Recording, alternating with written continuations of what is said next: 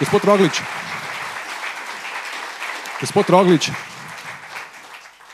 vas lahko kar uh, povabim na, na stol, uh, ni treba z odra. Uh, hkrati bi pa začel z diskusijo tudi na temo naše osnovne teme.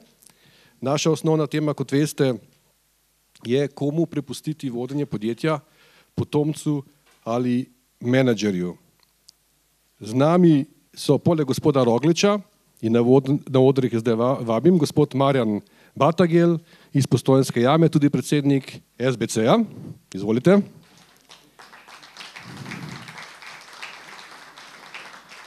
Z nami je gospod Franc Frelih, lasnik več podjetij Dana, Plasta, Gea, tudi član SBC-ja, gospod Frelih, izvolite.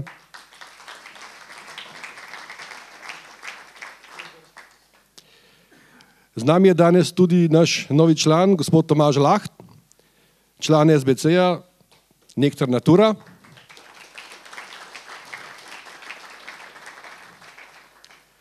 Tudi gospa Denis Kramjak iz podjetja Njeros Metal, članica SBC-ja.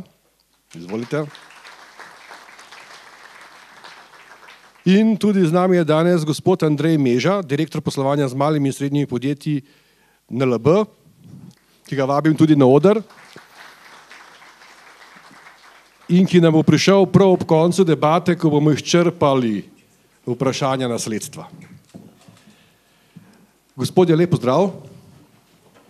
Se dobro počutite? V redu? Otroci so v redu? So. so. Imam še eno vprašanje za gospoda Rogliča, ki se je že dotaknil za začetek um, te tematike. Rekli ste, da menedžeri so tisti, ki znajo najbolje povedati, kateri je pravi potomec. Kdaj se za vodenje podjetja, kdaj se je to vam zgodilo? Imate kakšno anegdoto? A se je vam tudi kaj takšnega zgodilo? E, to se meni nije još dogodilo, jer još uvijek sam ja taj koji vodi poduzeće. E, naravno, vodim ga zajedno sa svojim CEO-om koji je meni odgovoran a kad budem, e, e, kad sam ja razmišljao o tome koga ću staviti umjesto moga sina, onda sam konsultirao sve, i menadžere, i, i moje sinove, i samoga sebe više puta razmišljao o tome.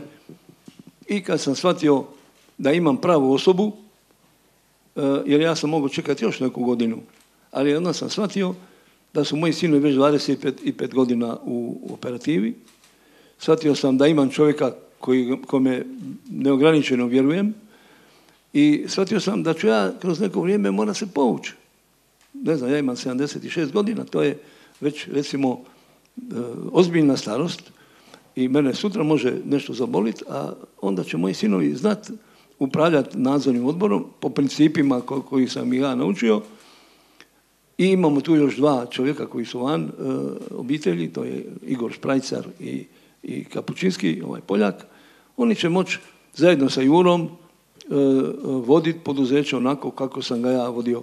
Pa ne znam koliko ću ja još izdržati, ali ovog časa ne brine me to i mislim da je stabilna situacija oko nasljedstva u, u okviru. A ono što sam rekao prije, ja sam u Berlinu na jednom sastanku e, čuo to kako velike kompanije svjetske Henkel, e, HIP, ovih proizvodnja guma Bišlen, kako oni biraju ovaj, obitelj, konzultira menadžere, jer menadžeri sigurno znaju najbolje ko će ih iz obitelji najbolje voditi.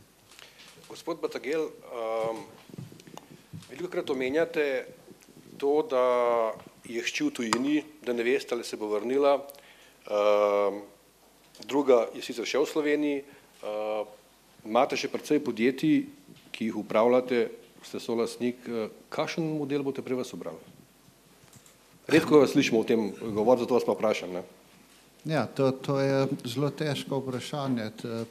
Tako nekako do pred treh, štirih let o tem sploh nisem razmišljal, niti me ni brigalo, pač čas gre tako hitro, podjetja kupuješ, imaš nastavljene direktorje, potem se pa v enem trenutku malo zamisliš, koliko si star in uh, poslušaš različne teorije, da morajo otroci prevzeti, da moraš pravočasno to začeti. In meni nič od tega ni eh, ležalo, zato ker sem pustil svojim, svojim hčerama, da sta pač ubrale svojo pot. Ena je pravnica, ena je ekonomistka, eh, ta druga mala eh, je šla v svet, kar sem je ful dobro zdelo, pač dela na borzi v Londonu in, in to je težko vprašanje. Lete, nikoli jih nisem v nič silo. Jaz jih ne morem siliti v tem trenutku tudi to, da one prevzamejo podjetje. Zgodil se je pa en zelo lep trenutek za Božiča lani, ko je starejša pravnica rekla, fotar, prišel je čas.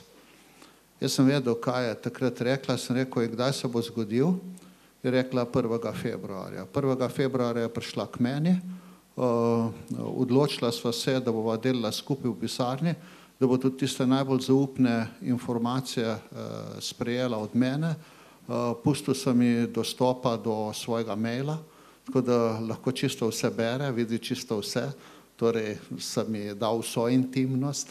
Ja. In zdaj v tem trenutku samo opazujem. Vedno pogosteje začenjamo tudi debato, ali ona hoče to voditi, ali hoče ona ta podjetja nadzirati. In je rekla, glej, saj pravzaprav sem premlada, kaj čem pa jaz nadzirati. Jaz moram v tem trenutku delati, se še veliko naučiti. In to, kar je Branko nas danes podučil, je zame zelo dragoceno, pač skoraj dvajset let je razlike, tako da sem malo tolažen, da imam še nekaj časa, da bom imel potem toliko menedžerjev, da mi bojo lahko med obema hčerama prebrali boljšo ali pa niti ne. Ampak šalo na stran, to so vprašanja, ki nastajajo v tej družbi, zato ker mi smo šele prva generacija, ki se ukvarja z nasledstvom. Mi smo otroci socializma, vsaj jaz sem takrat diplomiral, potem smo to podjetništvo naredili, nekaterim je uspelo, nihče nam pa ni povedal, da z uspehom bo prišel tudi problem nasledstva. Verjamem, da če bo katerakoli od mojih hčera prevzela to podjetje, bo od prvega dneva imela to v mislih, da ga bo morala nekomu predati. Jaz pa nisem imel to nikoli. Niti moja žena, ki delava celo življenje skupaj in modela pravzaprav sploh ne verjamem, da obstaja. Ta, ki bo se pri nas zgodil, bo moj model. Tako da družinske ustave, pa to, to je lepo, če so vsi tisti udeleženci, se strinjajo s tem, jim to paše. Pač jaz tega modela še nimam, tako da to je najbolj iskren odgovor, da v tem trenutku še ne vem. Konec koncev ne izključujem možnosti tudi to, da če nič drugega na tem svetu ne najdem, in se pač jutri dogovorimo, da ne gre pa vse to na trg, pa bo šlo. Mislim pa, da je to tista čisto, čisto zadnja možnost, ki bi pa kazala prej na neki obup ali pa v to, da nisem nikoli verjel v to, kar delam, ampak izključujem pa resnično ne nič. Dobro, nimate modela, imamo pa drugi nasvet. Prvi nasvet je bil, vprašajte menedžerja, kdo bi bil pravi potomec.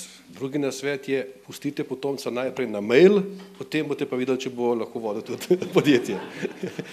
Gospod Frelih, ko sva se pripravljala na to okroglo mizo, pa sem vas vprašal, če bi sodelovali, ste rekli, moji potomci so pa na vseh drugih koncih samo pri meni, niso jih moral naučiti, kako naj skrbijo za podjetja.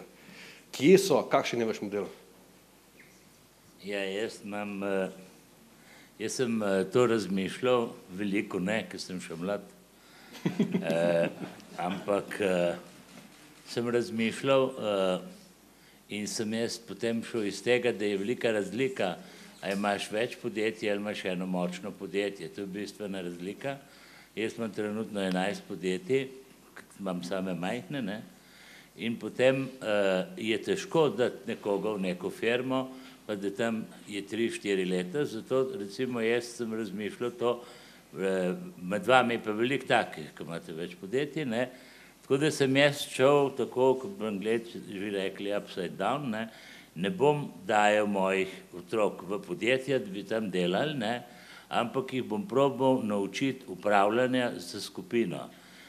Zaradi tega sem zdaj že enega najel, ke se že tem ukvarja, enega, jaz imam štiri otroke pa tri vnuke, tako da imam že sedem komadov in mislim, da bo malo to dvoštevilčna številka, ker če bo zdaj ta starejši sin ima sam uh, tri, ne, ker so pa res, res, res odlične, tudi vnukinje, tako da že na njih tudi računam, ker sem imel prvega otroka njega že malo po gimnaziji, so zdaj že vnuki 20 let stare, ne, uh, in starejši sin se ni nikoli prijel v firmi, ampak on je bil zelo brihten, pa zelo inteligenten, ampak on je tako imel toliko veliko željo za uspehom, da, da je bil recimo kar najvolen, če je kdo kaj dobrega naredil, ker ni to on. In potem sem jaz njega kar z firme oteral in sem rekel, ne boš več pri meni delal, imej svojo firmo in sem organiziral svojo firmo in lahko rečem, če bo se komu kaj tazga zgodil, je to najboljši recept. Zaradi tega, ker on je bil tudi malo prepameten že in sem rekel, poglej, tle imaš firmo, pa se dokaži. In se je res dokazal, ampak on je imel še eno, on ni, nima takih živcev, recimo, jaz imam kar močne živce in me nič, niti ne mislim na biznis noč in dan, kot eni. Uh, mislim, da je drugega lepšega veliko. No, in uh, je, recimo, uh, je, to, je to, on ni dost uh, močen, bi rekel, uh, psihično za to in zaradi tega sem rekel, lej, imej svojo firmo, ker ne more on biti direktor pa še večjih firm pa tako naprej, ampak zdaj, ker je to, uh, ker to, no, to novo organizacijo delam, ker je pa zelo sposoben in vse fino razume, in je tudi pamet prišel zdaj, eh, bo recimo v nadzornem odboru, ki bo zdaj ta ali holding ali karkoli bo, zdaj ni ne holding, ne nič, ne, mislim je, ena firma je lastnica ostalih firm, ne, pa je vse povezane, kako bo pač v nadzoru, ne. Za druge otroke lahko rečem, pa je najstarejša hči, je podobno kot z Marjanom, je skozi od zunaj, ki je študirala še, je bila v Parizu ne dve let, je kar iz tam hodila na izpite, zdaj, ki je diplomirala, prav to pravo naredila, je šla lepo v Berlin, je rekla, bi bila rada pol leta v Berlinu. Jaz ne vem, se mi pa interesantno, jaz isto predlagal, kot kar Marjan ima, pa nisem vedel, ne, sem tudi rekel, največ se už naučila, če už moja tajnica, in boš tle začela, ne, čeprav je pravo končala, sem rekel, kot le videla, kje so problemi. Potem imam eno, ki je arhitektka, tudi se razume na biznis, že počas nepremičnine kupujem, pa bom imela te projekte, da jih ima njih pet že za narediti, ker velikih. Nič ne naredim, še tam, so mi dali, da lahko stolpence naredim, je prišla in rekla, a ti ni treba tle nič narediti prav, jaz, ki pridem, to je ena firma stara Mizarstvo, več, prav se tle počutim, kot bilo v prejšnjem stoletju. Sem rekel, pa pa ne bomo, boš ti, ko boš ti čutila. Tako, tako da jaz mislim, da je velike nevarnosti. Mogoče bi sam še eno stvar omenil, ker sem tudi pri sebi malo občutil. Danes sem bil z enim fantom, ker sta dva brata zelo uspešna. Ne? In moji otroci meni malo tako, veš, ker mi se tudi, smo ta glavni v familiji, ponavadi, ki biznis odma, ne, kar je tudi po eni strani prav, ampak po vseh pa ne, ne. In sem jaz tega vprašal, ki je star 40 let, ne sem rekel, ker pa očeta dobro poznam, sem prijatelj, sem rekel, kako pa oče kaj, ne. Ja, je rekel, čist nobenih sprememb ni, ne. Če mi kaj dobro naredimo, bi on še boljš prav, če mi naredimo slabš, nas ukrega, prav, še vedno je on najboljši v vseh športih in v naši familiji in v plesu in sploh vsem. In te, to, to je velika nevarnost, ampak mislim, nevarnost je to. Ne, nevarnost je, da otroci recimo včasih nimajo dosti samozaupanja, da bi to bili, kar smo mi, recimo, kar je nam ratalo in zato jim jaz pripovedujem in to moram gospodu Rogliču čestitati, ena od največjih stvari je sreča. Največ. Zaradi tega, ker če nisi na pravem mestu, v pravem času, potem nimaš toliko velikih šans. Hvala. Imamo tretji nasvet. Preizkusite svojega potomca v posebnem podjetju. To je tretji nasvet, recimo. Ne? Gospod Lah, um, imate specifično situacijo, ste trije solastniki, imate pa veliko otrok. Sedem, sedem, ne, pet, se upravičujem, pet otrok. Ne? In zdaj vprašanje seveda je, kako v takšnih primerih razmišljate o nasledstvu.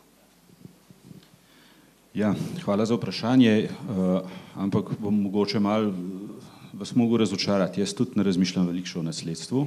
Uh, razmišljam pa predvsem o tem, da naj se otroci pač sami identificirajo to, kar želijo početi v življenju, naj želijo. Neminovno je pa to, da za otroke, ki rastejo v podjetniških družinah, za njih je to drug svet. In kar se mene tiče, je moja odgovornost samo v tem, da jim provam ta svet pokazati v mal lepi luči, a ne, da ne dam otrok za vsako, uh, za vsako, ne vem, počitniško delo najtežja dela delati, tudi seveda, ampak da jih pošljem tudi na sejem, kjer se mal nahajpajo, kjer pač mal doživijo lepši, lepši, lepši del tega biznisa in na koncu jo mogli sami odločiti. Ne. Kar se vodenja tiče, še težko karkoli rečem, ne. kar se pa samega nasledstva tiče, je pa treba zaščititi seveda podjetje, ki je ena, ena uh, vrednost, ena, ena uh, dediščina, ena vrednota, ki računam, da jo bojo otroci tudi tako razumeli. Uh, in pa vodenje podjetja, kjer pa ne vem še, je kdo podjetnik ali ne. ne. Jaz, tako kot sem začutil tudi tukaj pri, pri sogovornikih, uh, res verjamem v podjetništvo, v podjetniški mindset, v podjetniškega duha. Uh, ne verjamem, da se da podjetnike vzgojiti, niti da se jih da naučiti. Eh, zdaj, če bojo začutili v sebi to, to željo, potrebo, ta, to strast, ne, ki jo podjetniki imamo, super, ne, eh, če ne pa pač mal drugače super. Če se ne motim, pa mi popravite, ker zadeva lasništvo, ne? samo ste pa razmišljali o ustanovitvi, ali ste že ustanovili posebno družbo? Uh, Družinsko. Družina, družina, druži, družina moja je lastnica podjetja, ki je eh, večinski lastnik podjetij in podjetja in skupine podjetij, ki jih, ki jih imamo. Ja, to ja, mogoče malo zaradi tega, pa ne vem, je to pametno ali ne.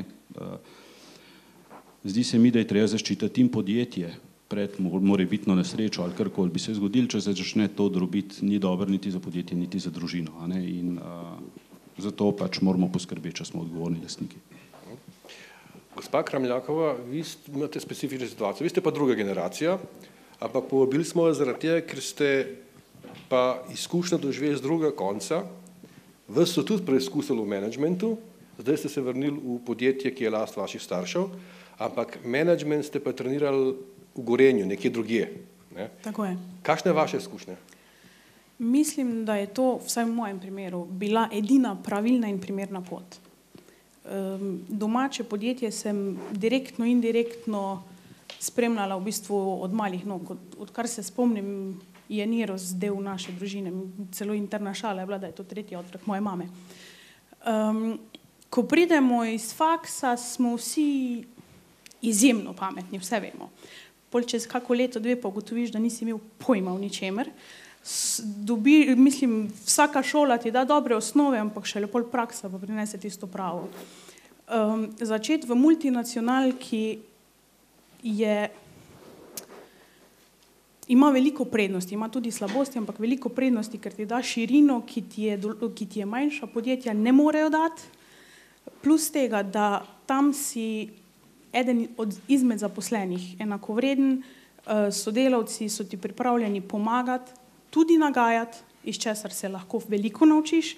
V domačem podjetju se verjetno ne bi toliko, ker mm, le obstaja nek, nek, nek nivo spoštovanja, kjer se ti sodelavec ne upa povedati, ker si le hči od lastnika. Um, tudi želja staršev ni nikoli bila, da eh, nekdo domačih prevzame podjetje. Eh, mama je vedno želela, da pač ostanemo v nadzorništvu, da upravlja pa direktno s podjetjem nekdo drug. V našem primeru se je nažalost to izkazalo kot izjemno slabo. Um, in silom prilike sem se potem vrnila domov, prevzela podjetje, uh, mi ni žal niti malo, Kar se pa podjetništva tiče, se pa strinjam z gospodom, to se ne da naučiti. To, ali pa se učiš celo življenje po malem, indirektno od staršev, če si otrok podjetnikov, dobivaš po malem dozo od vrtca naprej, kar je zelo pomembno. Gospod Meža, bom zdaj kar uskočil, čeprav sem bilo zmenjeno za na koncu, ampak uh, imamo možne situacije, da se bodo recimo starši odločili, da to prenesijo otrokom. Ampak vaša izkušnja, ko sem se pogovarjal z vami, je, ko se pogovarjajo o tem prehodu, da pogosto ni vprašanje, kakšna je tržna cena podjetij, ampak kakšna bo renta za starše, da bojo ohranili življenjski slog. Lahko to pojasnite, Ja, najprej eh, lepo pozdravljeni in najlepša hvala za povabilo. Um, zdaj, uh, jaz delam v javni delniški družbi, ne? smisel, da smo se socializma rešili, ampak me je gospod podučil, da smo še bolj socialistični, če se kotiramo na borzi, tako da pri meni problema dedovanja ne bo, jaz grem na borzo pa kupim delnico lahko, tako da uh, je mal drugačna situacija. Uh, zdaj, uh, banke, kako, finančne institucije gledamo na, na ta, bom rekel, fenomen uh, družinskega podjetja. Moje osnovno prepričanje je, da v bistvu podjetja se ne razlikujejo, kaj je dosti bistveno, a so družinska podjetja, a so to velika podjetja, a so to državna podjetja. Vprašanje je, če so profesionalno menedžirana. Ne? In to sem tudi zdaj slišal od kolegov oziroma gospodov, ki so pregovorili in razlagali v bistvu funkcija lastnika pa funkcija direktorja. Ne? To je tisto, kar je v bistvu z vidike higiene podjetja smiselno čim prej ločiti. Tudi logiko, ne? ker če pogledamo, kako so velika podjetja organizirana, ne? je logično, da imajo nadzorni svet in imajo direktorja, zato ker direktor zastopa interese podjetja, v katerem dela, medtem ko eh, lasništvo zastopa ponavadi nadzorni svet. Ne? In uh, v družinskih podjetjih je to pa ponavadi ena in ista oseba in je te, teoretično je sam sabo v konfliktu, ne? v nadzorni svet pa uprava se pogajata glede planov, medtem ko tle pa sam, sam sabo diskurs z izkušnjami, karkoli je pa že. Ne? Tako da iz tega vidika v bistvu kot finančne inštitucije ponavadi gledamo v bistvu urejenost teh podjetij uh, ki jih spremljamo čez celotno življenjsko obdobje in ki jih potem v bistvu spremljamo, bi si želeli, da so te stvari urejene prej, ker potem tudi z vidika bonitete eh, podjetja ali pa samih finančnih pogojev, ki jih potem to podjetje dobiva, je sigurno bonitetna ocena boljša, če so te stvari urejene. Zdaj pa potem, ko pa pridemo dejansko do fenomena prenosa samega lasništva, ne, potem je pa vprašanje, ali gre to, ker kaj, kaj je prenos lasništva, ne? na nek način je to management ali pa leverage buy out, odvisno kdo to dela. Ne? In kot banka, ki ima različen pogled, recimo kot RIS, bomo rekli, sigurno ne želimo ogroziti obstoj podjetja na dolgi rok in je popolnoma logična odločitev, če posebej kot lasniki, če je to preudarni lasnik in v bistvu nima nekih velikih želja, eh, eh, to pomeni, da v bistvu ne obremenimo podjetja in dejansko zagotovimo nek standard življenja, če je to nek normalen. Če pa gledamo kot, eh, bom rekel, kot v vlogi finančnega svetovalca, pa želimo maksimizirati vrednost, je pa potem potreba pogledati, ali je dejansko to smiselno poiskati novega lastnika, partnerja iz eh, upstreama, downstreama in potem maksimizirati vrednost za lastnika. Ne, ampak eh, se pa podjetja tok med sabo razlikujejo in to je zelo težka tema. Vse smo zdaj videli, da zelo težko govorimo o tem, ali bomo se umaknili, ali bomo pripeljali zunega lastnika. Se pri vsakem podjetju zelo razlikuje zgodba. Ker pride ponavadi podjetje k nam, je že vprašanje, ponavadi nimajo zgojenega naslednika, namestnika, iščemo novega partnerja, gremo iskati po, po, po trgu, ali bi bil kdo slučajno zainteresiran, kar je pa relativno pozno in ni nujno najboljša odločitev z vidika maksimiziranja cene podjetja v tistem trenutku. Ne. Ker verjetno se podjetniki že se celotno, odločijo, eh, čez celotno obdobje eh, soočajo s tem, da prihajajo ponudbe, posebej ponudbe, predvidevam, da zdaj jih prejemate kar precej velike na mizo. Ne. Pa to verjetno niso neke zavestne odločitve, ampak to je enostavno fenomen presežnega denarja v svetu. Se pravi, ta likvidnost, ki je. Ne? In zdaj eh, tisti, ki ima presežek likvidnosti, ima dve možnosti. Ne? Ali gre na borzo, pa poskuša na borzi najti nekaj pametnega, ali pa pogleda v svojih partnerjih, spremlja svoje kupce, vas pozna kot kupca, vas pozna kot dobavitelja, ve, da ima dober management in potem se v bistvu mu je lažje odločiti za odločitev. Zato prihaja toliko ponud in večina teh, eh, bom rekel, caseov, ki jih zdaj spremljamo v medijih, ne? ni sistematična odločitev nekoga, da želi stopiti ampak je verjetno bolj na ključe, da je nekdo prišel z dobro ponudbo, ki jo je težko zavrniti. Ne? In zaradi tega se mi zdi, da enkrat ločimo naslednika, namestnika, da točno vemo, lasništvo lahko ostane v družini. To ni nobenega problema, če se bo gospodi odločili kadarkoli, imajo pa ljudi, ki so sposobni to voditi. In to funkcijo razdeliti se mi pa zdi, da je kar ključno in je to boljš narediti prej, kot pa kasneje. Ker ko prijemo pa v tisto fazo, zdaj pa nimamo več kaj, podjetje treba prodati, ni nujno, da bo cena optimalna. Jasno. Gospod Roglič, eno vprašanje mi je ostalo na duši, pa ga nisem. Eh, kaj so vam pa sinovi rekli, ko ste se odločili skupaj z njimi, verjetno, da grejo nadzorni svet, da ne bodo več v operativi? Uh, jaz mislim, da uh, jaz sem tu bil glavni dakle, ja sam zbog sebe to praktički napravio.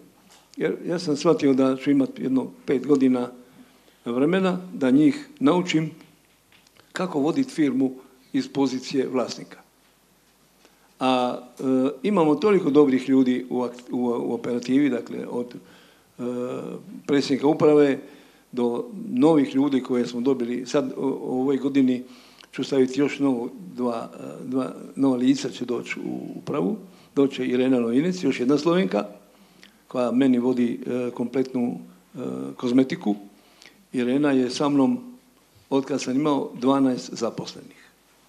12 zaposlenih. A ona je, sa mnom to znači, cijela moju karijeru.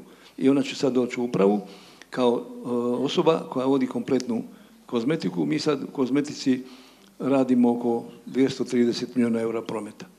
To je po prilici oko 10% našeg prometa je kozmetika.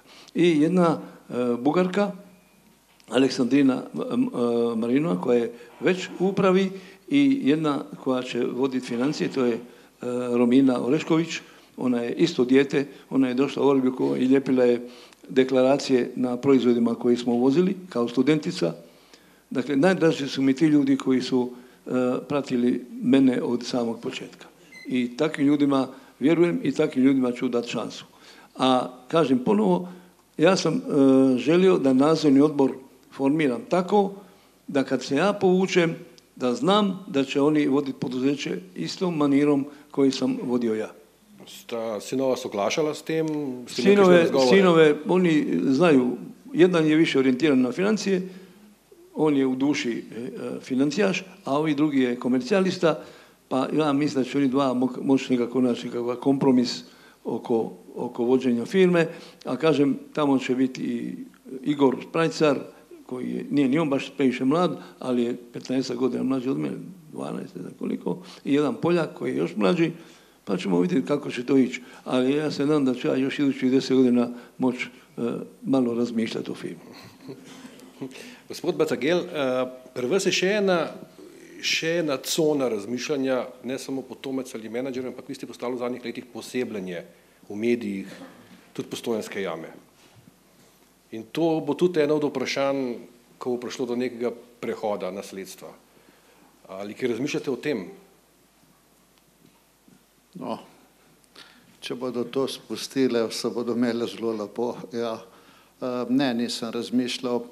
Je pa morda nekaj bilo zanimivo v tej debati, da včasih pozabljamo ta pravni vidik nasledstva. Jaz sem se v enem trenutku zgrozil, da Batagel, ki je mati vseh podjetij, nimam niti prokure urejene. Se pravi, če se meni kaj zgodi, v trenutku je čisto vse zablokirano. In ko začneš ta pravni vidik podjetja gledati z odgovornostjo, ko jo imaš do vseh zaposlenih, moraš v tistem trenutku nekaj narediti. Lahko prokuro nekomu tretjemu ponudiš, ampak če nimaš to urejeno, potem ti ogrožaš obstoj vseh podjetij lahko. In a, ko sem o teh začel, stvareh začel razmišljati, sem naredil tudi en tak eksperiment. A, ko smo Certo Holding kupili, smo kupili tudi tik tovarna Eagle Kubarit, to je tovarna medicinskih pripomočkov, ki je bila taka, da bi bila zelo fino, da jo takoj prodam, zgube ni delala, dodano vrednost je imela 20 tisoč evrov, certifikati v medicini jih je težko pridobiti in je imel neko vrednost na trgu. Obenem je imel pa tudi tak meni zelo všečen strateški plan, kako bi se oni razvijali, da bi bili dobri. In zato, ker jaz, ko sem kupil, pač sem dobil še to fabriko, čisto odkrito povem, sem rekel, kaj pa, če bi mi tukaj poskušali enkrat, da jaz nimam čisto nič s to fabriko, najdem direktorco ali pa direktorja, ki bo začel voditi to fabriko, se bom, posta, se bom izključil celo iz nadzornega sveta in nastopa samo kot lastnik, ki mu vse uh, obveščajo in moram reči, da so rezultati tukaj zelo dobri. Predvsem me je pa naučilo nekaj, da sem od tam naprej obseden s kontrolingom. Kontroling je ključen pri sedmih podjetjih, pač jaz moram imeti podatke. Jaz parametre moram videti, tako slabe kot dobre. Stroške plač, maržo, dobavitelje, pač to moram videti. Sicer sem jaz popolnoma zgubljen, jaz se sploh ne znam odločiti, če nimam zaprocesirati ogromno podatkov. In morda je en način, kako bom jutri naučil nekoga voditi ta podjetja, je skozi kontroling. Zato, ker danes analitiko postaviti uh, in algoritem uh, svojih želja upisati v analitiko ni tako nemogoče. Zato, ker jaz vsega ne morem videti. In to je ta matematični del. Drugi del, ki se mi zdi pa še bolj pomemben, je pa tista čustvena inteligenca, ki jo posebljamo vsi lastniki v podjetjih. Tam pa je večji problem, kako prenašati kulturo, ki si jo 30 let delal v svojem podjetju na nekega menedžerja. Jaz vem, da mi bo lahko en nov menedžer prinesel fantastične rezultate, ampak bojim se, da mi, da, da mi bo uničil podjetje v odnosih. In zato je družinski član, kakorkoli že, če je bil pravilno vzgojen, če je to del mene, če, če, če ve, kakšen vrednostni sistem imam, zelo dobro izhodišče, da bo spoštoval vse te ljudi, ki so okrog njega. Tako da vidite, da sem malo zmeden, malo tako govorim, malo tako, zato ker še čist sam ne vem, ampak stalno razmišljaš, stalno nekaj preizkušaš, tako kot boste vsi od vas. Jaz sem se na začetku ful tisto, sem bral družinske ustave, joj, kako lepo, tri dni so se zaprli noter, vse so spisali, polje pa vse funkcioniralo. Ja, se čez eno leto so se pa skregali, ker so bili pa problemi. Ja, tako da uh, o tem razmišljam zdaj. Tisto, kar pa uh, uh, vsak pooseblja, pa ne moreš to reči nekomu drugmu, zdaj boš pa tudi ti to poosebljo. To, to je nemogoče. To je izvira tudi iz osebnostnih lastnosti, ali nekomu paše, ali ne paše. Tako da uh, jaz, jaz sem prepričan toliko, koliko je problemov, v, toliko, koliko je podjetij v tej dvorani, toliko je modelov tudi prenosa lastništva. Gospod Frelih, uh, prej smo se dotaknili vaše situacije z nasledniki, ampak vi imate veliko podjetij, veliko menedžerjev, kakšen je pa recept, kako najti dobrega menedžerja, ne samo za danes, ampak tudi za naprej. Je to občutek podjetniški ali vendarle tudi nekaj stavite mogoče na kakšno analitiko ali kaj podobnega? Zdaj bi, zdaj bi jaz težko rekel, zato ker imam razne, razne menedžerje, ne? ampak najboljši je tist, ki je tudi eh, najvišji, se pravi, ki je direktor eh, firme, ki je tudi eh, lastnica vseh drugih firm in to je en eh, To je en fant, ki je domačin, eh, v bistvu je sin od tega, ki je tehniko vodi noter in je on šel študirati za strojnega inženirja in je že, ki je bil, ki je bil majhen, je tam delal pri strojih že, vse stroje je poznal, to šolo je z levo roko naredil in bi šel nazaj, strojni inženir in jaz, ker imam pa urejeno vse, kar se tehnike tiče v firmi, vrhunsko, hm, kako naj pa dela. Fej, on je imel dosti služb na razpolago, ampak jaz sem ga hotel, ker sem ga poznal in sem rekel, kaj pa če bi on mene malo zamenil, da bi meni malo pomagal, mogoče pa enkrat on direktor, on rekel in da jaz vidim, kako je kaj za to sposoben. In po treh mesecih sem očeta poklical, sem rekel njegovega, ki pa nas dela tehniko, ne, je tehnični in se rekel, posluš stane, ti misliš, da imaš strojnega inženirja, pa ga nimaš, ti imaš mešetarja. Sem rekel, je rojen mešetar, sem rekel, to je trgovc tak, da ga ni. Pa sem rekel, je bila v vaši familiji kakšna, uh, kakšna oseba, ki je bila uh, tak trgovc, ne? In je pa res najdel eno in ta moj je najboljši od vseh. Imam pa zelo dobre menedžere, veliko sem jih dubo, recimo, ker sem uh, ker sem podjetje kupoval. Eh, zdaj, ene dva sta me že danes vprašala, kaj izgejo, pa mi je interesantno, ti bi že eden. Ne? No in Geje je bila zelo slaba uh, firma, mislim, kar se tega performansa tiče, slab je biti da vse, vse slabo. Ne? Jaz sem jo v glavnem kupil zaradi tega, da ne bi Kitajci dubli, ki mi šlo na živce, da bi kitajski olepil. Imam že eno uno, firmo iz, uh, je, iz te prehrane Dano. Ne? In uh, vsi so mi pa govorili, da sem preveč plačal, kar ti tudi itak vem, da sem. Sam nisem mogel cenejš dobiti, ker so oni še en milijon več ponujali, ampak niso imeli izvora denarja in sem imel samo kratek čas, da kupim in sem kupil. Jaz ne morem verjeti, kaj so naredili. Dvakrat sem bil tam in sem vprašal, ko sem bil prvič, sem vprašal direktorja, sem rekel, kaj je največji problem pri vas, da se tako pravi. Nam je največji problem to, da smo bili v zadnjih desetih letih, smo imeli 30 kandidatov, da nas kupijo iz vseh možnih držav iz celega sveta.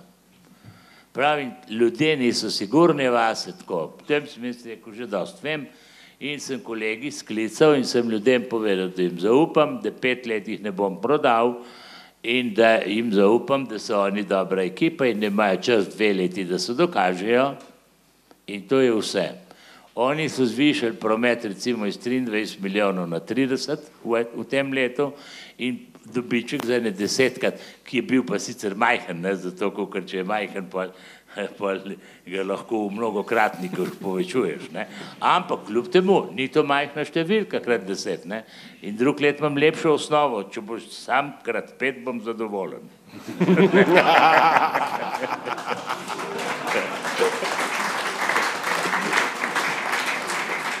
Moram še od enega povedati, tako da vam, jaz rad govorim, moj oče je pa glih tak, star 92 let, star nekaj jaz govorim, roko dvigne, prav, ne, ne, prav, ti si govoril, pol ure sem gledal, zdaj boš pa tihe eno uro. Zdaj sem pa jaz dobil tole, pazite se.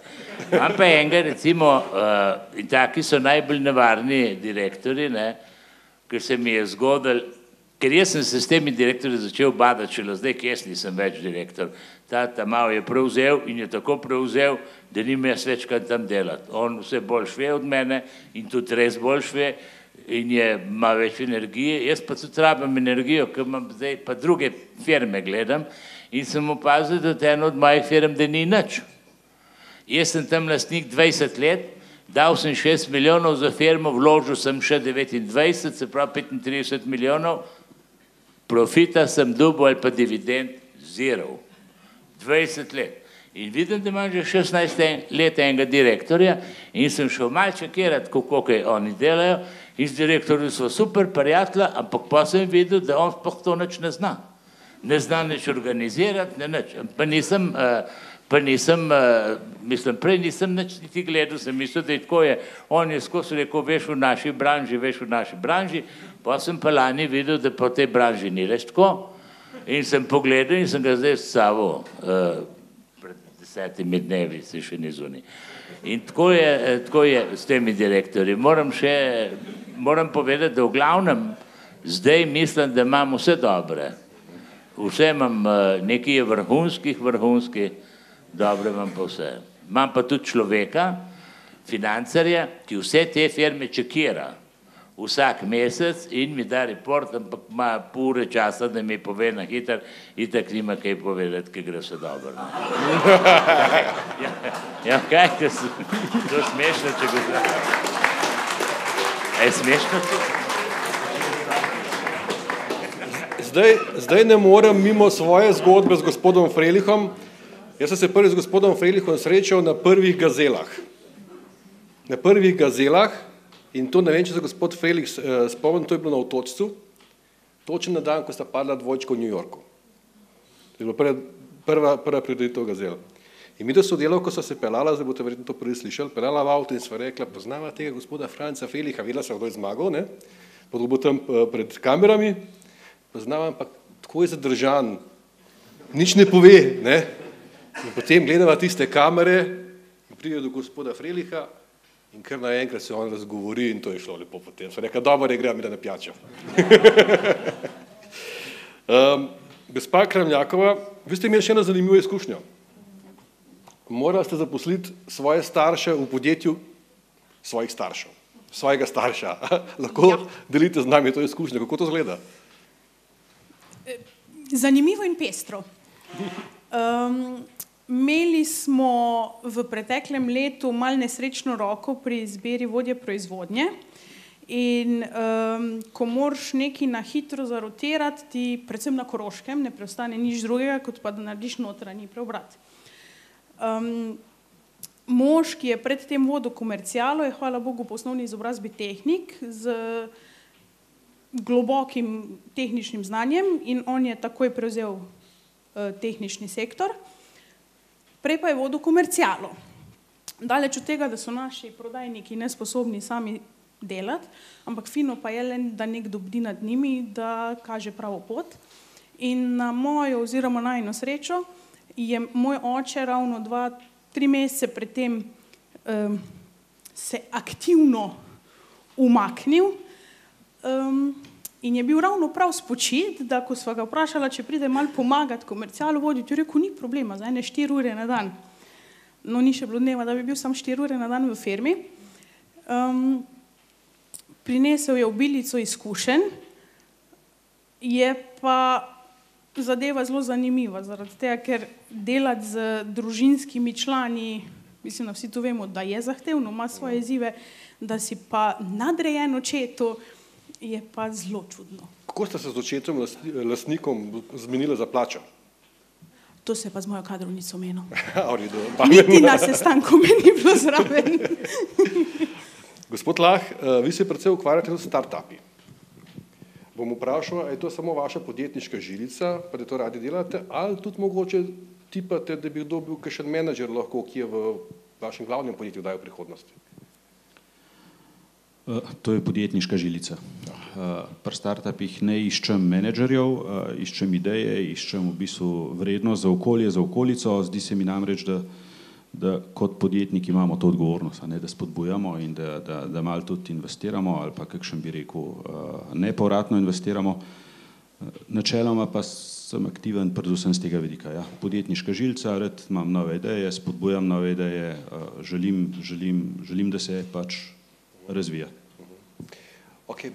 Gospod Meža, zadnje vprašanje za vas. Um, v klubu želimo predvsem, da ta naša podjetja ostanejo domača podjetja, da imajo naslednike, da ostanejo v Sloveniji, da imamo to policentri, ta policentrični razvoj, kjer so hrbtenica temu, ampak če se slučajno zgodi, da ni druge variante kot prodaja zunanjemu lastniku, zelo na kratko, kakšen je najboljši recept? Um, Zdaj, ja, seveda, v interesu vseh, da ostaje slovensko lasništvo. Zdaj pa, uh, v bistvu, ko smo govorili prej o v bistvu naslednikih, namestnikih ne, ali pa vzgoja naslednikov, ne, jaz v bistvu, se pravi, statistika deluje zelo v škodo družinskih podjetij. Gledal sem eno diplomsko nalogo, mislim, da samo 30% podjetij se prenese na drugo generacijo, medtem ko samo 12% na tretjo. Ne, kar pomeni, da funkcija lasnika, direktorja je sigurno najbolj pomembna iz vidika, bom rekel, prenosa pooblastil. Ampak so pa še v, v druge funkcije v podjetju, ki jih prav tako jih je treba zaščititi so to strokovne ali pa vodstvene funkcije. V bistvu vsak, ki je na takšnem mestu, bi moral imeti svojega namestnika, naslednika, ki se ga vzgaja zaradi higiene prenosa. Ne.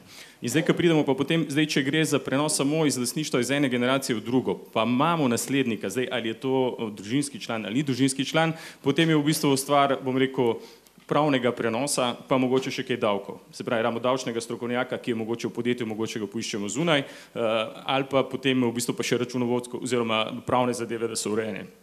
Če pa nimamo naslednika, ne, pa se odločimo za prodajo, ne, potem je pa stvar, bom rekel, če je bilo to konstantno, bom rekel, spremljano z vidika menedžerjev, da spremljate svojo okolico, kdo so potencijalni partnerji, poznate svoje, kot sem rekel, upstream, downstream partnerje, kdo bi bil zainteresiran, kje bi prišlo do sinergij, potem je zadeva dokaj la, lažja. Ne. Če se to zgodi takrat, ko se vi že odločite, ne, če, ker če prevzema, bom rekel, naslednik, namestnik, potem je zelo logično, da se kot, kot bom rekel, kot direktor v neki fazi umaknete, pa spremljate svoje naslednike, kako peljejo zadevo naprej. Če prodate na trgu, potem je zadeva obratna. Ponavadi nov lastnik, če niso menedžerji vzgojeni, pričakujejo od vas, da boste nekaj let še ostali v podjetju, zaradi tega, ker vrednost podjetja ste vi.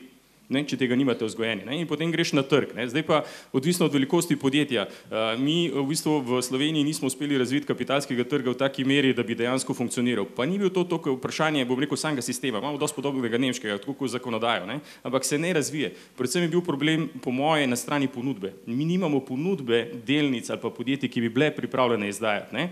Jaz mislim, da bi bila izvrstna, sicer to velja za malo boljše podjetje, ampak v bistvu se predstaviti investitor, kljub temu, da ne razmišljate, da bi podjetje prodali. Ne. Predstaviti se investitorju mogoče z izdajo dolga, v prvi fazi. Pa če potem pravite, če imate dobre ideje, ne, ogromno je, mi v bistvu eh, pokojninski naši skladi ne investirajo v slovenske uspešne zgodbe. Mi ne vrčujemo v slovenskih, mi v bistvu vrčujemo v delnicah, dajemo v dolg drugim državam, jih financiramo po zelo nizkih donosih. Hrvaška ima to recimo drugače urejeno. Ne. In ta potencial, ki bi ga lahko izkoristili, če bi bili, če bi bili podjetniki pripravljeni svoje zgodbe ponuditi in če imajo možnost za rast. Ne. In recimo, če bi nekdo resno razmišljal o tem, 59% kapitala IPO, po tistem, ko si se že predstavil investitorjem z dolgom, ne, izdal določen dolg na organiziran trgu. Ne. Potem greš mogoče z delom kapitala in potem na koncu, če končni eh, želja, če ni naslednikov, kam, komor bi lahko to prenesli, ne, na koncu je lahko tudi, eh, tudi 51%, pa se v celoti proda. Ne. Eh, tak bi bil nek postopek, ampak to je predvsem primerno za tiste podjetja, ki imajo lahko, si lahko prvočijo mogoče par milijonov dolga, zato da je to sploh smiselno. Ne. Če gre za manjša družinska podjetja, potem je v bistvu enostavno pač iskanje potencialnega partnerja. Management buyout, leverage buyout, potem je v bistvu pač partnerje, tako kot sem rekel, v, v industriji, v regiji ali pa karkoli podobnega. No. Pač. Hvala lepa. Imamo kakšno vprašanje za naše goste? Vas kaj zanima? Kje imam pa jaz gospodične? A, tukaj le. Izvolite. Vojko Arzenšek iz Adheziva. Jaz bi pa gospoda Mežo vprašal, a je že imel dejansko kak konkreten uh, primer, da je prišel kakšen njihov klient in pripeljal za roko zraven hčina Sirko, hčerko in predstavo, gledajte, zdaj smo predala lasništvo njemu uh, in če je imel, kako to tehnično sploh poteka, tak prenos lasništva, če je imel kak takšen konkreten primer. Um, zdaj, da bi rekel, da so se prav pri meni oglasili, jaz se moram upravičiti, jaz sem delal 20 let na kapitalskih finančnih trgih, tako da sem v SMI podjetjih šele tekoče leto. Ne? Ampak pri kolegih, kot sem se pogovarjal, so se pojavljale vse sorte zgodbe. Ne? Prišli so tako z prošnjo poenostavni, ker v bistvu zgodbo lahko zapeljemo tako, če imate vi vse dogovorjeno, kdo je zdaj ali je kupec ali pa samo interni partner, eh, naslednik, namestnik, karkoli. Ne? Potem je zgodba relativno enostavna. So predvsem pravni strokovnjaki, ki jih imamo, imamo tudi davčne strokovnjake in to je relativno enostavna zgodba. Gre samo za tehnični prenos. Mi sicer to že ponavadi ta podjetja poznamo skozi življenjsko dobo, smo šli skozi cikle skozi, smo skupaj preživeli krizo, vemo, kako se obnašajo, so racionalni, niso racionalni, to upoštevamo na nek način tudi pri boniteti, pri cenovni politiki, ampak to je relativno enostavna zadeva. Če pa je začnemo iskati, eh, bom rekel, eh, kupca, potem je pa stvar drugačna. Ne? Potem je pa ponavadi na mandat, kjer nas pooblastite za to, da mi potem pač iščemo partnerja za vas, ga skušamo najti najboljšega ponudba, če to večje podjetje, potem probamo nek konkurenčni proces pelati, zato da je več ponudnikov, odvisno pač od zgodbe posamezne. Ampak ja, seveda se oglasijo. Ne? Je pa dejstvo, tako kot sem rekel, ne? največ zgodb v zadnjem času se pri nas pojavlja s tem, da enostavno pridejo s ponudbami že pripravljenimi. Ne? Zaradi tega, ker enostavno nismo mi, eh, tako kot mi smo prva generacija je podjetnikov pri nas, ne, ki zdaj počasi zaključujejo in počasi predajo. Ne. Pri nas še ni te vzgoje, ne, da bi konstantno spremljal vse priložnosti in potencialno ti nekoga prevzameš ali z nekom greš v partnerstvo, ne, da bi to vsi podjetniki konstantno spremljali. Ne. In potem šele takrat, ko dobi ponudbo na mizo, pa reče, poslušajte, je to res pametno, ne, je ta ponudba primerna, oni ponujajo preveč. Ne.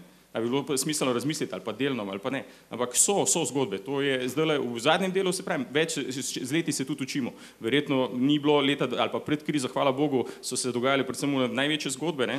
Podjetne, podjetništva pa prevzemo pa leverage buy auto, medtem ko pa zdaj v tem zadnjih deset let ne, se pa predvsem v tem SMI segmentu dogajajo takšne zgodbe. Še kakšno vprašanje?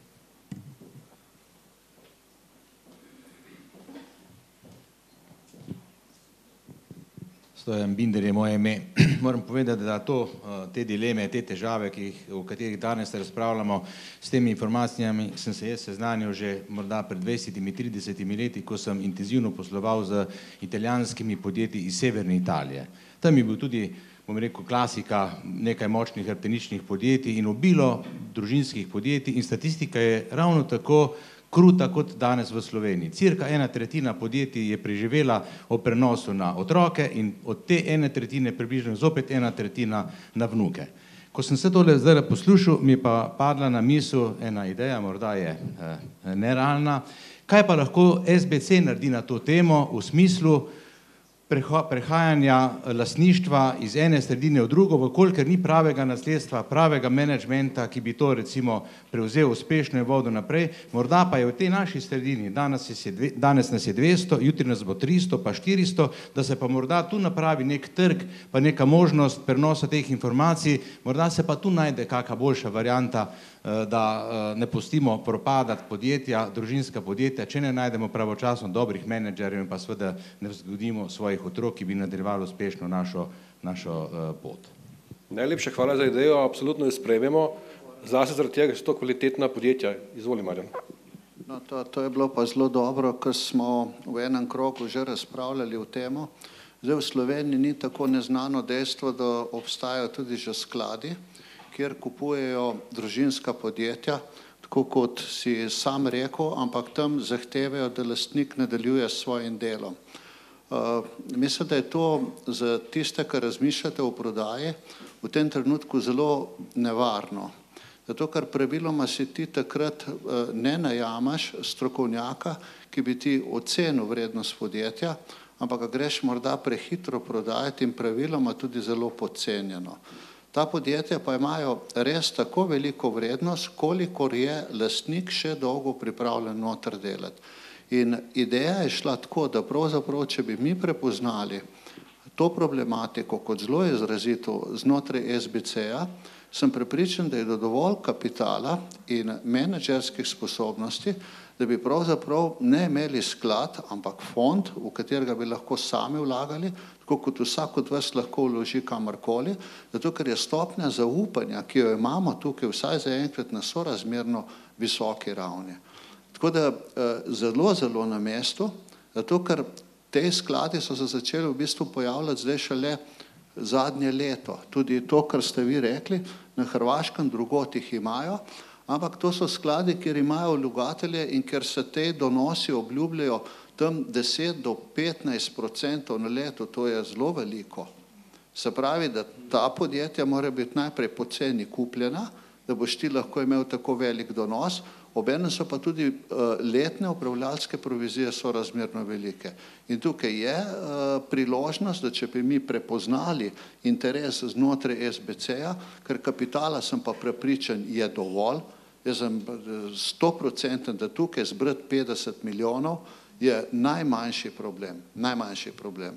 Tako da zelo dobrodošla pobuda, Goran, jaz bi tudi apeliral na vas, da kooperativno delate, da ta, ta, ta interes bolj prepoznate in bi potem morda lahko se enkrat pogovarjali tudi v modelu, kaj narediti pri tistih članih, ki, članih, ki imajo ta problem, oziroma hočejo zgolj in samo prodati in dobiti denar in imeti mir. Smem dodati, če sem dobro gospod, da Binder razum, razumel, gre za lahko več zadev. Eno je sklad, eno je tudi verjetno investitor znotraj kluba, ki bi prevzel recimo podjetje samostojni. Ne. Tako da absolutno je saj ta informacijski flow že v prvi fazi lahko zelo hitro spostaviti. Ne. Hvala za idejo. Še kakšno vprašanje? Če ni, nismo še končali, jaz bi se zahvalil našim gostom. Uh, najlepša hvala za sodelovanje, vabim vas nazaj v vaše klopi, vaše sedeže. Najlepša hvala vsem skupaj.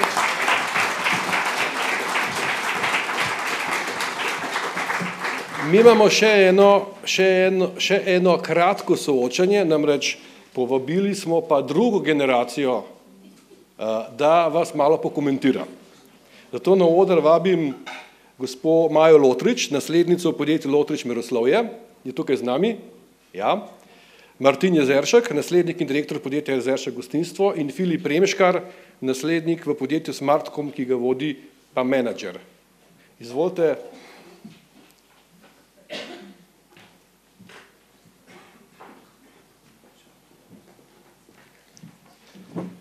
Spoštovani, spremljali ste te diskusije, ste v različnih vlogah, v različnih ciklusih vlog v, v podjetjih, ste v bistvu druga generacija, mogoče kdo že, ne vem, tretja, ne vem, po podjetniški poti, ne spomnim se vsega nazaj. Pa če začnemo mogoče z Majo, ki je dama med nami, um, pa bom kar prepustil, kaj bi najraje pokomentirali iz te diskusije, ki je bila, pa kaj mogoče vidite, mogoče malo po svoje, malo drugače. Najprej En lep pozdrav za ostale, ki ne poznate podjetja Lotrič oziroma skupine. Smo skupina, ki je prisotna v sedmih državah in je trenutno že enajst podjetij. Ko smo mi sestavljali, mi smo namreč šli v prenos nasledstva skozi družinsko ustavo, je bilo to mogoče manjše podjetje, takrat nas je bilo 80, pa je to sploh ni bilo tako daleč nazaj, tri leta, zdaj nas je 150. a Ne? In ko stvar prerašča, mora preraščati tudi dokument. In uh, mogoče ob teh komentarjih oziroma zelo težka je vloga komentatorja nekoga, ki ima verjetno starost manjšo kot ostali izkušnje, ampak um, izpostavila bi to, da družinska ustava je en korak proti nasledstvu in ni edini. In ne želim, da izpade, kot da to je recept za uspeh ali pa da je to edina pot, ki je prava. Jaz želim, da se o tem pogovarjamo in vesela sem, da v takem krogu, kot je to danes. Um, in še nekaj, ta družinska ustava je res dokument, ki mogoče ne stoji pred sodiščem. Na podlagi tega se oblikujejo družbeniška pogodba, oporoka, um, darilna pogodba, ki so zelo pomembni dokumenti. In ne glede na to, v kakšen postopek greste, so to dokumenti, ki jih oblikujete. Uh, prej je bilo bolj tehnično vprašanje, kaj se pravzaprav o prevzemu vse dogaja. To se dogaja um, in ne, ne drži pred sodiščem, drži pa pred mamo in očetom. In to je zadost za nas, ker nihče si ne želi, da je mama tiho, ker takrat je nekaj narobe. Uh, tako da Ja, izpostavila bi res, da um, to ne želimo, da izpade kot nek pritisk, zdaj pa vsi v družinske ustave. Želimo si, da so podjetja v rokah tistih, ki so za to pravzaprav sposobni, da si to želijo in da pravzaprav poznajo podjetje. Mi smo na razgovorih za službo pričeli uh, spraševati tudi vprašanje, zakaj ste se sploh odločili za delo v družinskem podjetju. Bili bi presenečeni nad odgovori. Ja, je res, da velikrat govorimo o vrednotah, sploh na takih dogodkih, to je zelo popularna tema, ampak tisti, ki prihajajo v podjetje, čutijo, da bojo slišani, da so na mestu, kjer lahko tudi sami osebno rastejo in da je to vrednota družinskih podjetij. In zdaj si predstavljamo, da v tako podjetje dajemo poslovnega menedžerja. Predvsem bo zgubil ekipo, kar je gospod Batagil lepo izpostavil, to bi bilo problematično in tega si mi osebno ne želimo. Ne? ne rečem, da je to za vsa podjetja, ampak mogoče družinska podjetja je to potencijalna nevarnost in um, predvsem to, da rastemo s kolektivom, da ga spoznamo, kako smo lahko empatični do ekipe, je predvsem tako, da se ne da z njimi gremo skozi težave, ampak da si lahko predstavljamo, v kakšnih vlogah so in jih na poti usmerjamo. In to se mi zdi, da je naloga vseh nas, pri nas smo sicer trije, tam le piše naslednica, ena izmed treh. Brat je namreč direktor hčerinskega podjetja, Sestra je um, direktorica financ, tako da ona predvsem prevzema vlogo tega kontrolinga skupine, kar je pri nas tudi bistvenega pomena. Zdaj, da ne bom prekoračila kakšnega časa, pa še ena izkušnja iz pred nekaj let. Sicer gospod Miža takrat še ni bil v temu delu, ki se ukvarja z družinskimi podjetji, ampak izkušnja z recimo bankami. Mi smo družinsko ustavo podpisali namreč obvestili tudi banke, da je prišlo do prenosa oziroma uh, ja, tudi eh, prenesli smo določene deleže. In ko smo nekako vprašali za njihovo mnenje oziroma podporo, je pa potem to trajalo kar nekaj dlje časa, ko smo si predstavljali. Tako da je korak, ki ga vsi skupaj moramo razumeti. Uh, mi v bližnji prihodnosti načrtujemo nekaj večjih, ne samo lasniških, ampak organizacijskih sprememb in s tem namenom odhajamo tudi do partnerjev v tujini, ki so večji in jih že v tem naprej obvestiti. Ker želimo imeti transparentno poslovanje in takrat seveda mi gremo tudi otroci zraven, ker se le skozi take izkušnje učimo. Hvala Maja. En aplaus, verjetno Maja, se zasluži. Gospod Martin Jezeršek, eh, vi ste član tudi upravnega odbora, hkrati pa delujete v podjetju, ki je tudi šlo eno prvih, če ne prvo skozi družinsko ustavo, ste zadržali tudi menedžerske funkcije. Kaj bi vi izpostavili svojega zornega kota iz te diskusije, na kaj bi se odzval? Uh, ja, hvala tudi uh, v mojem imenu za vabilo. mogoče na, malo zadje za tiste, ki nas ne poznate, se pravi uh, prav tako družinsko podjetje, kjer smo štirje bratje, um, zdaj cirka sedem let, vsak četrtinski lastnik uh, podjetja, pa hkrati tudi uh, uh, jaz kot direktor, pa tudi ostali bratje postavljeni nekako v poslovodstvo podjetja. Um, in uh, kot je Goran omenil, um, smo šli skozi tudi to družinsko ustavo, ki je v našem primeru se izkazala kot nekaj izredno pozitivnega, vsekakor pa ni, ni recepta.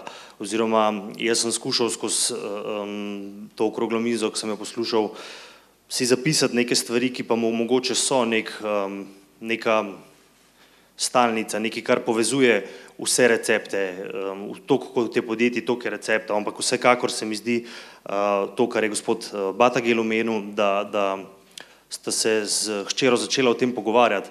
Jaz mislim, da ključ, ključna stvar vseh receptov je, je pogovor. Um, družinska ustava ali pa kjerkoli drug um, način je v bistvu je zgolj cilj, uh, pomembna pa je pot, pot pa je, pa je v bistvu pogovor. Uh, pri nas konkretno smo, smo to pot hodili um, vsaj pet let, recimo, od tistega čist prvega pogovora, ki se mi je utrnil v spomin, da smo sploh mi, uh, nasledniki, začeli razmišljati, da okay, nekaj, nekaj nas je doletelo, o nečem moramo razmišljati, pa do tega, da smo, da smo um, prenos lasništva v celoti izvedeli, prenos vodstvenih funkcij in tako naprej. Tako da pogovor, pogovor, pogovor je, je, je bistvo vsega, se mi zdi. Uh, potem pa še nekaj, še nekaj uh, uh, idej sem si napisal, Na odru prej je bilo uh, veliko uh, zelo zanimivih sogovornikov, vsa podjetja pa se mi zdi, da so bila uh, dokaj velika. Um, in mogoče takrat, sedem let nazaj, smo bili mi v mal drugačni vlogi, kot bi bili danes, kot majhno podjetje, kjer, kjer um, ne moreš razmišljati o tem, da bi ločil vlogo uh, lastništva, nadzornikov uh, in pa vloč, vlogo menedžerja uh, direktor, direktorsko vlogo in eh, je pa to izjemno pomembno in je treba to uh, tudi že zelo zgodaj začeti ločevati v glavi. Se pravi, kaj v družinskem podjetju je lastništvo, kakšne so pravice, ki ti pripadajo iz lastništva in pa kaj je delo oziroma kasneje vodenje, menedžerska funkcija v podjetju in kakšne so pravice, ki, ki pripadajo uh, um, menedžerju. To se mi zdi, da predvsem v manjših podjetjih je treba skozi pogovor te stvari zelo strogo, zelo, strogo ločevati. Um, v večjih podjetjih je to nekako naravno um, bolj, bolj jasno. Um, mogoče še, še, ena, še ena zelo pomembna stvar, uh, ki jo je omenil uh, gospod, gospod uh, Lah, pokazati uh, poklic kot zelo lep. Uh, v našem primeru je to zelo, zelo, zelo spet, spet zanimiva stvar, ne gostinski poklic. Uh, če spremljate medije, je mm, najslabše plačan, grozni urniki so, um, poklicne bolezni, nihče si tega ne želi delati, ampak um, jaz do, do, do zdaj, ko se je začelo v medijih o tem govoriti, uh, tega niti enkrat v življenju nisem pomislil. Ne. Že od majhnega smo, smo poklic uh, videli kot lep poklic, skozi podjetje rastel eh, na različnih, od pomivalnice naprej do konc koncev eh, tega, kjer smo danes. In jaz mislim, se mi zdi, da to je, to je ključno, je pa treba, ne, danes moram jaz o tem začeti razmišljati, ko imam eh, hčerki stari štir pa dve, leta, dve leti, da, da ko, ko grem, uh, ko sem šel včeraj zvečer uh, od doma, zato ker sem šel na, na uh, uh, ker smo včeraj odprli, prevzeli pivnico Union, pa sem mogel biti zvečer tam prisoten, zato, da, zato ker sem vedel, da se bo pojavil neki znanih obrazov. A ima bom zdaj jaz rekel, uh, moram iti v službo, zato ker pač je to nekaj groznega, ali pa, ali pa stvar predstavljam pozitivno. Ne? In to so to otroci, te, te neke um, vzorce sprejemajo in, in potem na ta način mogoče lahko sploh pridemo do te priložnosti, da je interes. Ne? Uh, sicer ga pa mogoče sploh uh, uh, ne bi bilo. Tako da mogoče to so neki, neki taki moja videnja, moj komentar na, na, na pogovore prej, ki so bili pa še enkrat zelo kvalitetni. Hvala, Martin. En aplauz za Martina. Gospod Filip Rebeš, ker vi ste imeli drugo zgodbo, malo drugačno, zdaj imate tudi menedžerja. Skratka, vi imate pa drug princip, vaš zorni kot. Najprej bi se zahvalil Martinu, ne, če Martin pove recept, ne, z hiše Jezeršek je vedno dobra specialiteta vam prišla, ne. Tako da je že nekaj za poslušati, tako da hvala. Uh, ja, pozdravljeni, moje ime je Filip Remškar in sicer Filip tretji Remškar, se pravi tretja generacija tehniško uh, podkovanih oseb, ki so imela uh, nemirno podjetniško dušo uh, in so s tem nekako iskale udejstvovanje in boljši jutri za vse nas um, sem uh, skupaj z bratom prevzel podjetje deset let nazaj in sicer skupino petih visokotehnoloških podjetij, uh, ki trenutno smo prodali naše storitve oziroma naše tehnologije lastnega razvoja v več kot 55 držav sveta. Uh, tako da žal nabiram svoje točke zvestobe več na prevoznikih letalskih kot pa v drugačnih merkatorjih, ampak uh, je pa to tudi nekaj, ki te nauči kako nadaljne menedžirati oziroma kako prenos eh, v samih takih eh, podjetjih izvesti. Tisto, kar bi res pohvalil, je, da se skupaj na takih dogodkih pogovarjamo o temu, zaradi tega, ker vsak od nas bo šel z enim pozitivnim črvom ali pa tudi negativnim od tukaj in se spraševal, kako lahko jutri nekaj stori, si da akcijsko točko, da v bistvu te statuse, ta vprašanja, kateri so med lastniki, direktorji, menedžerji, družinami, začne naslavljati. Uh, v našem primeru je bilo to ja, malo bolj zanimivo in sicer deset let nazaj uh, je, se pravi, skupina podjetij, štirih podjetij, z bratom sva dodala eno podjetje, sva ga kupila, je v bistvu prišla bolezen, oče je zbolel čez noč in treba je bilo prevzetne.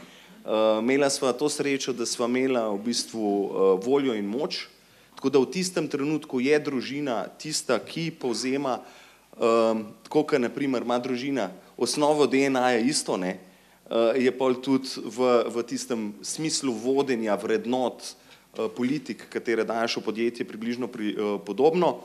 Zaradi tega je bil prenos, no kljub temu, da, uh, da smo razmeroma mlada, se pravi 26 pa 29 prevzela vodenje celotne skupine 150 ljudi, um, uspešno pač prešel. Ne.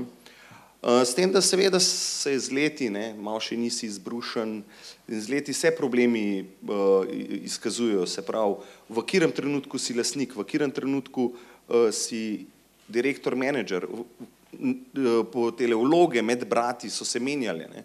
se pravi, kiro jurisdikcijo imam jaz, kiro on. V teh primerih je res, res um, dobro v bistvu se posvetiti korporativnemu upravljanju, eh, spremljanju le tega nadaljne z družinsko stavo, to v bistvu eh, dodelati do konca. Je pa izziv, ne, zaradi tega, ker mi smo šli čez to, da ne vem, smo imeli zunanje menedžerje, nekateri so se res obnesli, ali pa so nam pomagali tudi kot družini in lasnikom v določenem obdobju. Vem, jaz sem prosil kolega uh, in večno hvaležen, da mi pride pomagati v pač to je bilo deset let nazaj, prevzeti krmilo vsaj za štiri leta. Je rekel, Filip, sam jaz nisem podjetnik, jaz nisem um, ta prav menedžer, sem rekel, vem, ampak krmilo boš pa znal držati. Jaz še nisem tam, pa jaz moram od sosednega podjetja krmilo držati. Ne? Si pripravljen. In smo imeli sodelovanje nekaj štiri leta, potem pride seveda cikl, kjer moš inovirati, kjer spet se več zažreš v našem primeru v družino. Sem jaz prevzel podjetje Smartcom uh, kot uh, operativni direktor, Um, in seveda pol se je ponudila priložnost, da zaposlimo profesionalnega direktorja in namreč bivšega direktorja, uh, sedaj bivšega direktorja podjetja Oracle Slovenije, ki pa je 12 let nazaj delal v Smartcomu, se pravi v našem podjetju. In on je delal z mojim očetom, vedel je, kam pride, v kakšne vrednote, vedel je, kje je osnova DNA in delovanja mene in mojega brata in v bistvu smo imeli srečo, da smo profesionalnega menedžera, ki se je pa kalil še nekje druge kot v našem okolju, pritegnili nazaj za svojo, seveda, tudi kvaliteto dela, katero smo vmes in investiranjem. Uh, tako da, da je tudi jaz ne bom pre, predolg. Um, dejansko je pred nami en velik, velik izziv, uh, kot Slovenije, prenose moramo narediti, uh, včasih niso lahki, Eh, dejstvo pa je, da, da se z jasnimi odločitvami dajo uh, izpeljati. Uh, vsem lasnikom bi položil na srce, da mogoče je za mlade generacije bolj, da se ne čaka, da so stari 40-50 let, zaradi tega, ker opcije so zelo zanimiv inštrument, katerem po malem, po določenih korakih in uspehih daješ delček lesništva, seveda upravljalsko funkcijo in odločanje držiš pri sebi, dokler želiš, dokler ti čutiš, da je pravo. In se mi zdi, da je to nek način, kjer pol tudi ta mlade generacije začutijo, da so si nekaj zaslužile, ne da jim je bilo nekaj dano. In če so si zaslužile, si v bistvu vedno boljši lastnik tistega, kot pa nekaj, če ti je bilo le podarjeno. No, kljub temu, da si si izkazal. Ampak, če ti je bilo na koncu podarjeno in to ni bil tvoj cilj iz leta v leto, morda malo drugače uh, smatraš. Uh, tako da, kot drugo, ko smo zelo veliko uh, govorili, se pravi, lasništvo, menedžerji, direktori, vodje, uh, ja, tukaj imamo pa izziv. Slovenci imamo toliko pa toliko let uh, podjetništva, se pravi od leta kaj, 89, uh, toliko let menedžerstva in res je lepo slišati zgodbo, katero sem prvič v Sloveniji slišal, da je sin od enega vodilnega iz podjetja Rato vodilni uh, v istem podjetju oziroma je sin šef Ratu uh, očetu, ne, uh, hči se upravičujem, ja.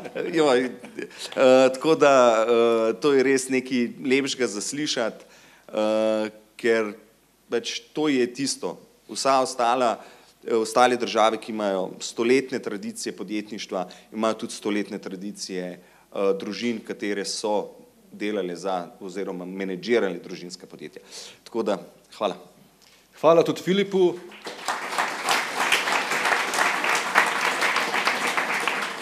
Hvala tudi vsem vam za pozornost. Jaz smo prišli skoraj do konca. Jaz bi samo eno kratko zahvalil res našim uh, sponzorjem, še generalnemu partnerju Novi Ljubljanski banki, srebrnim partnerjem Telekomu Slovenije, Triglavu, Sid banki, bronastima partnerjema A banki in Kofas PKZ in sebinskemu partnerju Bisdovdu najlepša hvala za podporo.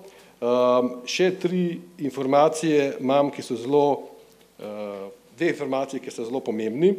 Ena je za vse člane 27. če še niste uspeli pogledati uh, mail, 11. v Švicariji, tukaj v Ljubljani je tradicionalno prednovoletno srečanje članic in članov SBC-a, tako da vljudno vabljeni ob 19. uri 27. novembra. Danes, to je pa druga informa informacija, vas pa zdaj vabim na pogostitev in na druženje v ozadju te dvorane. Hvala vsem za vso pozornost. Če boste imeli kakršno koli vprašanje, mi smo na SBC-ju, kadarkoli lahko vprašate. Hvala.